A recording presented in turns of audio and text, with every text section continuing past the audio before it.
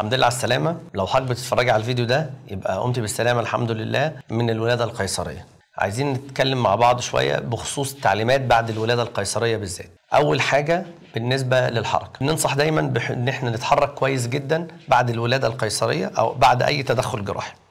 الحركة دي اللي هي الحركة البسيطة في المنزل بدون أي مجهود وما ننامش على ظهرنا إلا إذا كنا هننام فقط. تاني حاجة بالنسبة للسوائل بنطلب من حضرتك إن إحنا نشرب من 2 ل 3 لتر سوائل يوميا وبننصح دايما بالسوائل الشفافة. السوائل الشفافة اللي هي أي عصير أي مية ساقعة أو سخنة أي سوائل شفافة لكن بلاش العصاير زي الجوافة وزي المانجا الحاجات اللي هي ذات القوام الغليظ بلاش منها في الفترة الأولانية بعد الولادة القيصرية. ثالث حاجة إن إحنا ناخد shower في نوعين من الأغطية اللي بنحطها على الجروح في الغطاء اللي هو ال waterproof ده بينفع إن إحنا نخش ناخد shower بيه عادي جدا ومفيش فيه مشكلة وما بيتأثرش وما بيوصلش للجرح. في الغيار الثاني اللي هو الغيار العادي. في حالة إن أنا أخدت shower بالغيار العادي ولقيته إن هو حصل له بلل بننصح إن إحنا يتم تغيير ال- الغيار ده بغيار آخر معقم ونظيف مش مبلل بعد انتهاء ال shower مباشرة.